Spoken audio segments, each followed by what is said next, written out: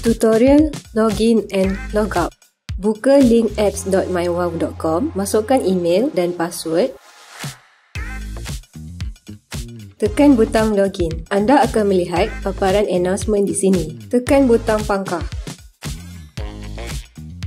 Lihat di penjuru atas sebelah kanan, tekan profil anda dan pilih logout untuk keluar daripada sistem anda.